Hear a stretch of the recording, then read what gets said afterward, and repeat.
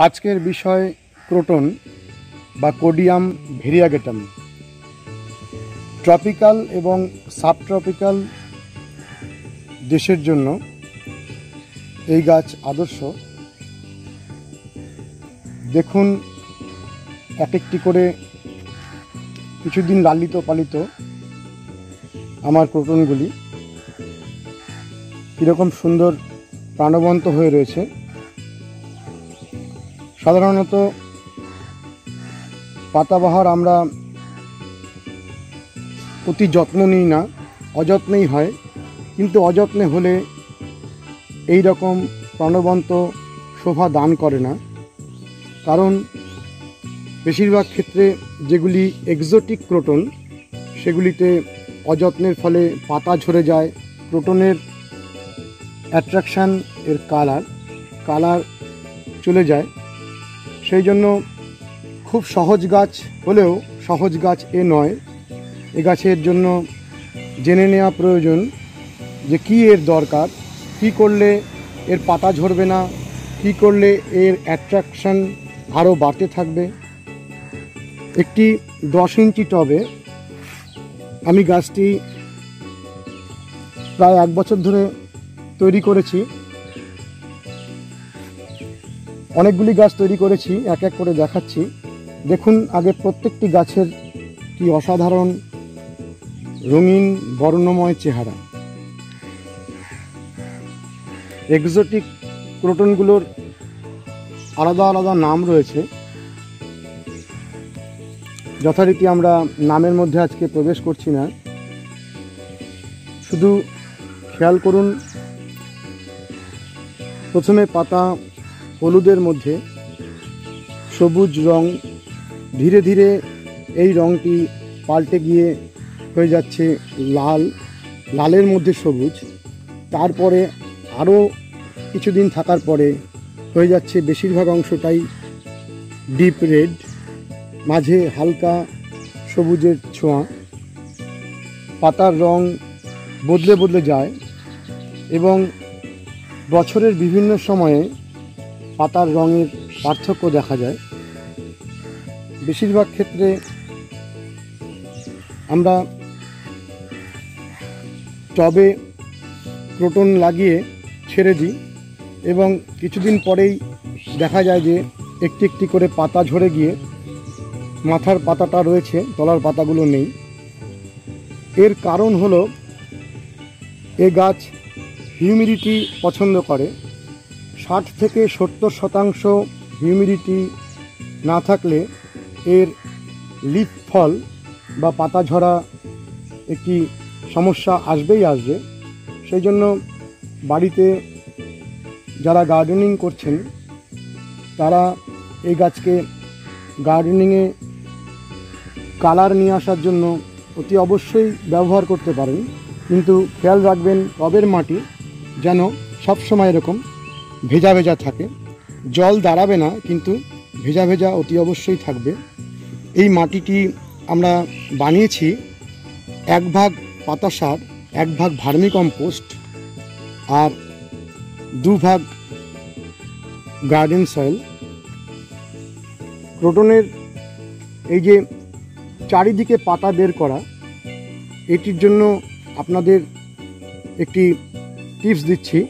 আপনারা যখন গাছটি কোনো জায়গায় রাখছেন, তখন মাঝে মাঝেই গাছটিকে, টপটিকে ধরে ঘুরিয়ে দেবেন, যেন চারিদিক থেকে গাছটি আলো পায়।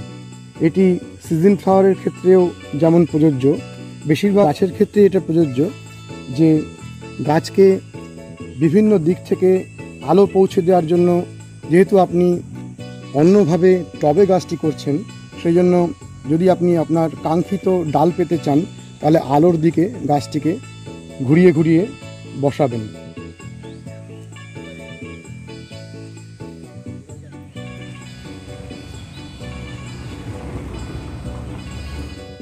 নমস্কার বন্ধুরা, দেখছেন প্রোটনের সমস্ত কিছু। আজকে এই অসাধারণ বর্ণময় গাছের যাবতীয় দেখাচ্ছি। প্রোটন বা এই পাতাবাহারগুলি ডাইরেক্ট সানলাইট এবং যতটা বেশি সম্ভব সানলাইট পছন্দ করে, কারণ এর গাছের যে রঙিন উপস্থিতি, এই রঙিন উপস্থিতির জন্য অতি অবশ্যই প্রয়োজন সূর্যালোক। সারা বছর আপনি যতটা বেশি সম্ভব সূর্যালোকে রাখলে তবেই এরকম বর্ণময় এবং উজ্জ্বল প্রাণবন্ত গাছটির রূপ পাবেন। যদি আপনি একে কম সূর্যালোক দেন, তাহলে এই রঙটি কমতে কমতে গ্রিনিশ অংশটা বাড়তে থাকবে। তবে একটি কথা আপনাদের বলে রাখি, যখন প্রচণ্ড দাবদাহ অর্থাৎ গরমকাল, সেই সময়ের ডাইরেক্ট সানলাইটে দীর্ঘ সময় গাছটি থাকলে কিন্তু এই রকম পাতায় স্কর্চিং সাইন আসবে, পাতা পুড়ে যাবে।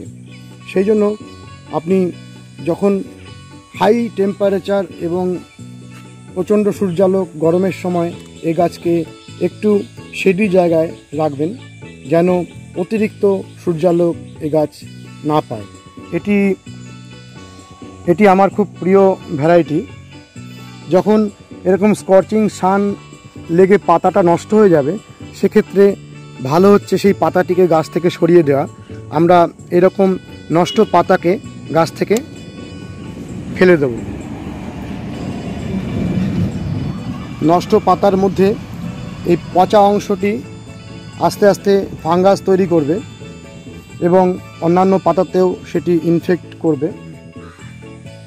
ক্রোটনের এই ভ্যারাইটিগুলিতে সাধারণত পোকামাকড় লাগে না এবং অতি আশ্চর্যের ব্যাপার, আমি বাইরে লাগিয়েও দেখেছি যে গরুতেও এ গাছ খায় না। যারা কোনো জায়গায় বাইরে গাছ লাগাতে চাইছেন, যেখানে বিভিন্ন রকমের গবাদি পশু এসে গাছের পাতা খেয়ে নেয়, তাদের জন্য এই আদ- আদর্শ গাছ আপনার জায়গাটাকেই রঙিন করে রাখবে, অথচ কোনো গবাদি পশুর পাতা খেয়ে নেবে না। ক্রোটনের এগুলি একটি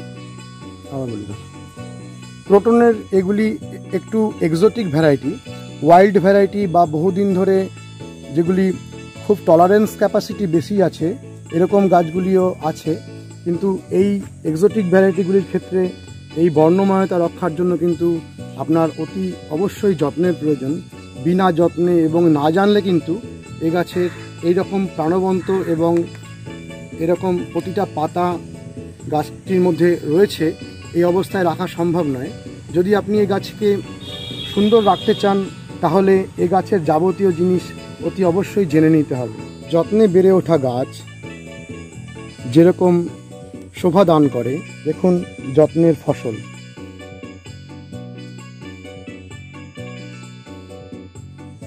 মাঝখানের পাতার অংশটি উপরে উঠে গেছে, দুপাশটি বেরিয়ে এসছে। এই ধরনের পাতাগুলিকে আমরা কমনলি বলি ত্রিশূল ক্রোটন, কারণ দেবাদিদেব মহাদেবের হাতের ত্রিশূলের মতনই এই পাতার গঠন। তাই জন্য কমনলি বলা হয় ত্রিশূলের ভ্যারাইটি এগুলির এক একটি পেট্রা, রেনা, বিভিন্ন নাম রয়েছে। দেখুন, এটিও খুব ভালো লাগে। মাটিতে জৈব খাদ্যের উপস্থিতি, কারণ ক্রোটন অ্যাসিডিক সয়েল পছন্দ করে। জৈব খাদ্য, পাতা সার, ভার্মি কম্পোস্ট, এগুলি প্রচুর পরিমাণে থাকলেই মাটিতে অ্যাসিডিটি থাকবে। এবং এই গাছের ক্ষেত্রে কুড়ি থেকে বত্রিশ ডিগ্রি সেলসিয়াস তাপমাত্রা এ গাছ পছন্দ করে। অতিরিক্ত ঠান্ডাও এ গাছ পছন্দ করে না। সেই জন্য শীতকালে একেবারে প্রচুর রোদ আসবে এরকম জায়গা এ ভালো থাকে। লম্বা পাতার এই জাতটিরও খুব বর্ণময় পাতা আসে।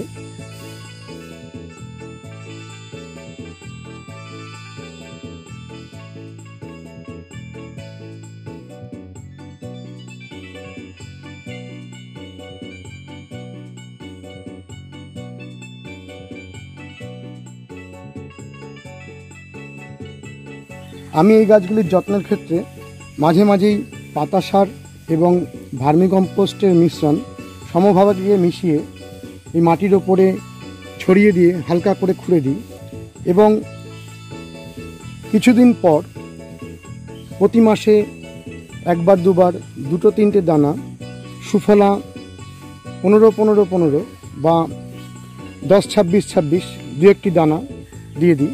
এবং গাছের ওপরে পাতায় স্প্রে করি। কখনো হিউমিক অ্যাসিড, কখনো সিউইড। প্রোটনের এই ভ্যারাইটিগুলি আমরা বাগানে লাগাই এর পাতার শোভার জন্য। এর ফুলের কোনো উল্লেখযোগ্য সৌন্দর্য নেই। সেই জন্য যখনই ফুল আসবে, আপনারা তো এর শীট তৈরির চেষ্টা করছেন না। সুতরাং সেক্ষেত্রে এই ফুলটিকে ভেঙে দেওয়াই ভালো। কারণ ফুল আসলেই গাছ তার বৃদ্ধির অংশ থেকে অন্যদিকে মন ঘুরিয়ে নেয়, তখন গাছ শুরু করে তার সন্তান তৈরির প্রক্রিয়া। সেই জন্য আমাদের যেটি দরকার নেই, এর ফুলের যেহেতু শোভা নেই সেই জন্য ফুলটিকে আমরা ভেঙে দেব। কারণ ফুলকে বাড়তে দিলে পাতার শোভা আস্তে আস্তে নষ্ট হয়ে যাবে। প্রোটনের আমরা পাতা চাইছি সেই জন্য পাতা তৈরি করে নাইট্রোজেন জাতীয় খাবার। সেই জন্য যেসব খাবারের মধ্যে নাইট্রোজেন আছে সেই সব খাবার আমরা গাছে বেশি দেব।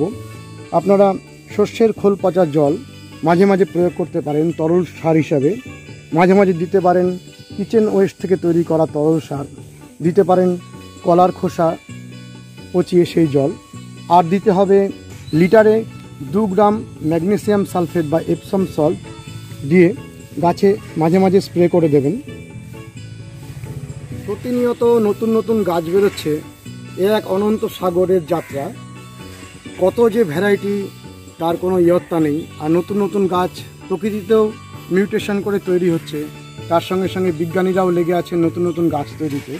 এগুলি মোটামুটি ভালো ভ্যারাইটি আমি এই কটি টব করেছি। দেখুন, এই কটি টব পুরো বাগানটির একটি অ্যাট্রাকশন হয়ে উঠেছে। আপনারা শীতের ফুল ভালো করে করুন, শীতের ফুলের এক একটি ভিডিও আমরা নিয়ে আসছি সামনে। কিন্তু তার সঙ্গে সঙ্গে এই ক্রোটন আপনার ছাদ বাগানের ক্ষেত্রে অসাধারণ অ্যাট্রাকশান তৈরি করতে পারে। যদি ভালো ভ্যারাইটি সঠিকভাবে মেনটেন করতে পারেন। আর তার সঙ্গে সঙ্গে বলছি, আপনার এই টবগুলির ক্ষেত্রে একটি বড় সুবিধে হলো, আপনি বাইরে যখন রেখেছেন, তখন যেমন শোভা দিচ্ছে, কিন্তু বাড়িতে কোনো গেস্ট এলো বা কোনো অনুষ্ঠানের সময় আপনি একে একদিনের জন্য বা দুদিনের জন্য ঘরে রাখতে পারেন। ঘরে একদিন দুদিন থাকলে কিন্তু এই গাছের শোভা নষ্ট হবে না, গাছের ক্ষতি হবে না। বেশি দিন ঘরে রাখবেন না, কারণ ঘরে যদি বেশি দিন থাকে, গাছের সেল আবার পরিবর্তিত হয়ে যাবে ও তৈরি করবে, ঘরে থাকার উপযুক্ত পরিবেশ এর জন্য ওর সেলকে ওইভাবে তৈরি করে নেবে। তখন আবার ডাইরেক্টলি যখন সানলাইটে ফেলবেন, তখন কিন্তু পাতা নষ্ট হয়ে যাবে।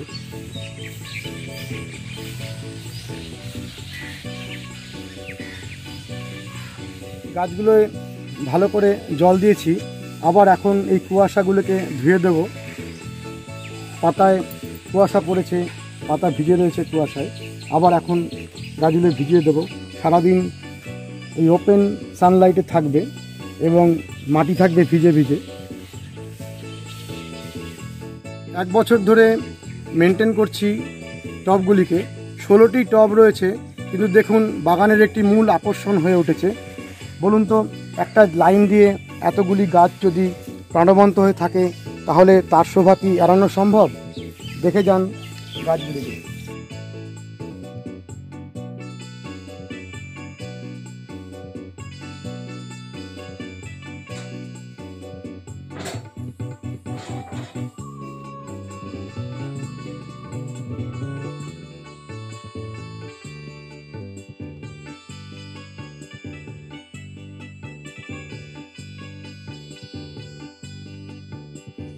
ক্রোটন হলো ইউফোর বিএসি ফ্যামিলির গাছ এবং এর আদি নিবাস ইন্দোনেশিয়া, মালয়েশিয়া, এই সমস্ত দেশগুলো এবং ভারতবর্ষ। আমরা যেমন পটে এই গাছগুলিকে লাগিয়ে মেনটেন করছি, তার সঙ্গে সঙ্গে গ্রো ব্যাগে যে এর রূপ সেগুলি দেখুন। গ্রো ব্যাগে এই গাছগুলি ফুল গ্রোন অবস্থায় রয়েছে। ছোট চারা খুব সস্তায় পাওয়া যায়। ফুল গ্রোন একটু বড় সাইজের গাছ দুশো টাকা, আড়াইশো টাকা এরকম দামের মধ্যে আপনারা পেয়ে যাবেন।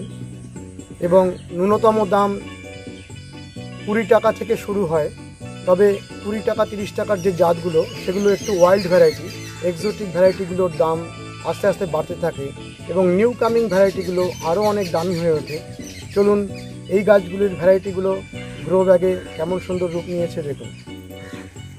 এরকম গ্রো ব্যাগ দেখুন যথেষ্ট সুন্দর। আপনারা এই গ্রো ব্যাগটি কেটে বড় পটেও বসিয়ে দিতে পারেন। আমরা আজকে এর মাটির তৈরি এবং একটি গাছকে বসিয়ে দেখিয়ে দেব।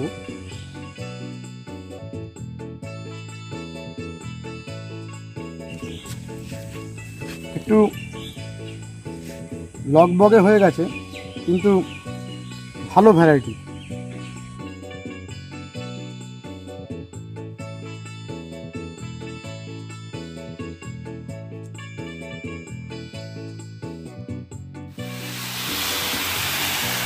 ভালো করে জল দিয়ে ভিজিয়ে দেবেন কখনোই যেন মাটি পুরোপুরি শুকিয়ে না যায়।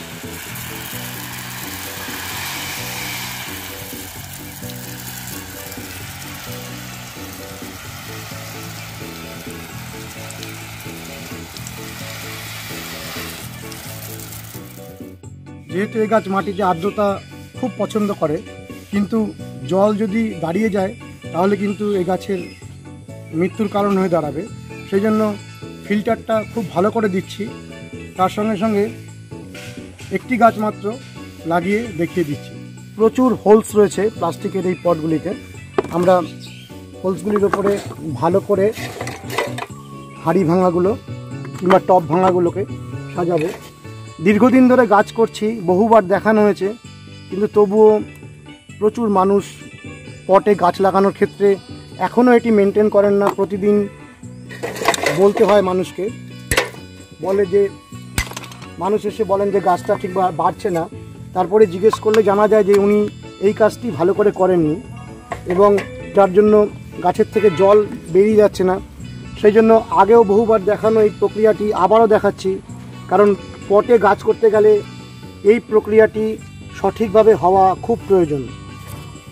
ভালো করে সাজিয়ে ফেললাম খোলাম কুচি তার উপরে ছড়িয়ে দেব স্টোন চিপস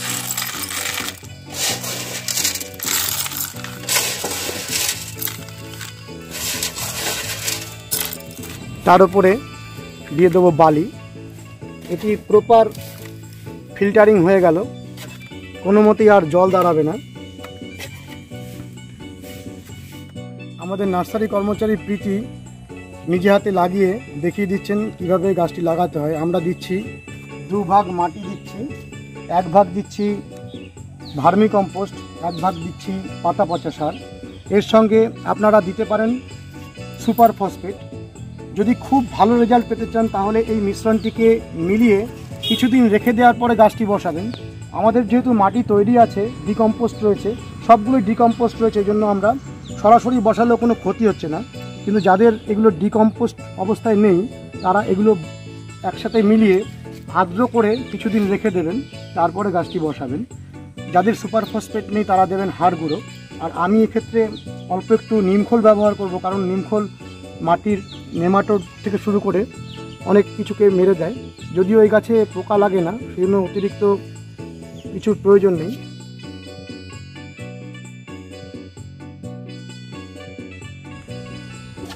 পুরো ভরেছে দুটো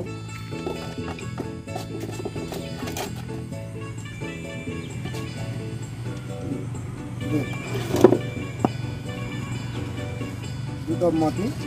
এখান থেকে এখান থেকে একটা ভার্মি কম্পোস্ট। ঠিক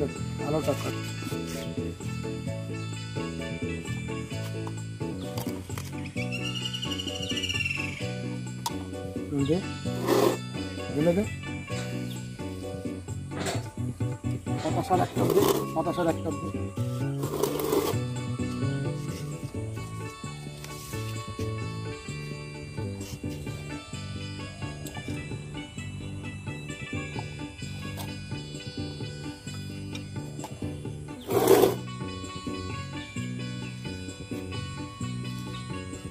দে কি একটা নিম খোল এক মুঠো নিম খোল দে। আর দিচ্ছি। সামান্য একটু হাড় গুঁড়ো। আপনারা এই হাড় গুঁড়োর বদলে দিতে পারেন সুপার ফসফেট।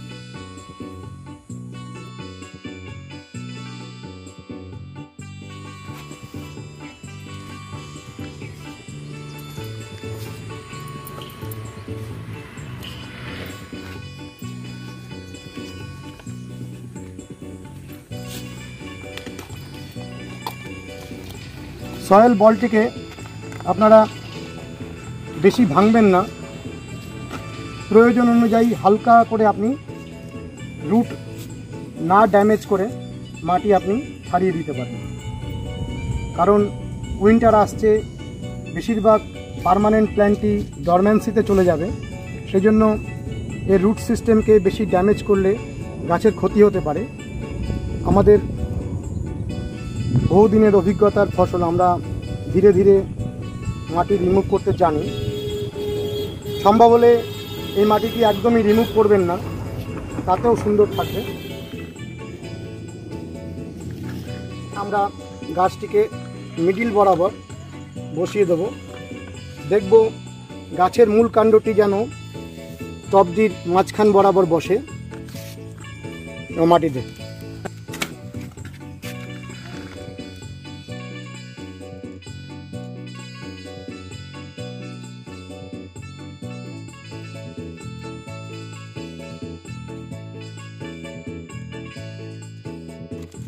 এই যে কাজটা করছে প্রীতি, এটি খুব জরুরি গাছের জন্য।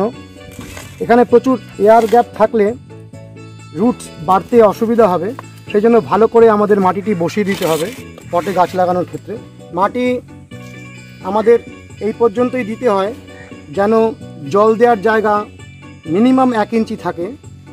আমরা অনেক ক্ষেত্রে আমরা দেখেছি যারা গাছ লাগান একদম টব ভরে মাটি দিয়ে দেন, সেক্ষেত্রে জল দিলে জলটি পুরো টবে যাওয়ার জন্য যে জলটা দরকার, সেটি থাকে না।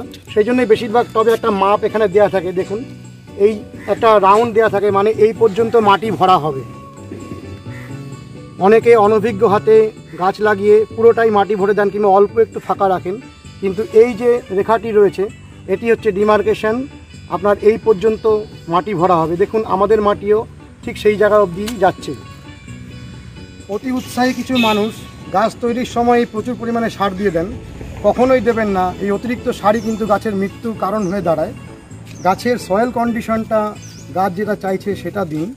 আর গাছ লাগানোর পরে দিন পুরো ভরপুর জল।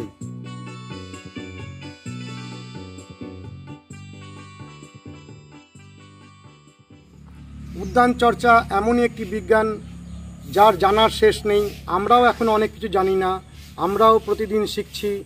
সেই জন্য প্রত্যেকটি ভিডিও কন্টিনিউ করে দেখুন, কারণ এক একটি ভিডিওতে এক একটি জিনিস শেখা যায়। এমন কোনো ভিডিও নেই যেখানে কিছু শেখার নেই। সেই জন্য একটি ভিডিওর সাথে আরেকটি ভিডিও লিংক রয়েছে। প্রত্যেকটি ভিডিও পরস্পর দেখে গেলে অনেক দিন পরে দেখবেন, বেশিরভাগ জিনিসই যেগুলি কাজ চালানোর উপযোগী, সবই আপনি জেনে গেছেন। আজকের এই ভিডিওটি কেমন লাগল কমেন্ট করে জানাবেন লাইক করবেন শেয়ার করবেন সাবস্ক্রাইব করবেন। বেল আইকনের অল অপশানটি প্রেস করবেন। ভালো থাকবেন, সুস্থ থাকবেন। ভগবান আপনাদের মঙ্গল করুন। নমস্কার।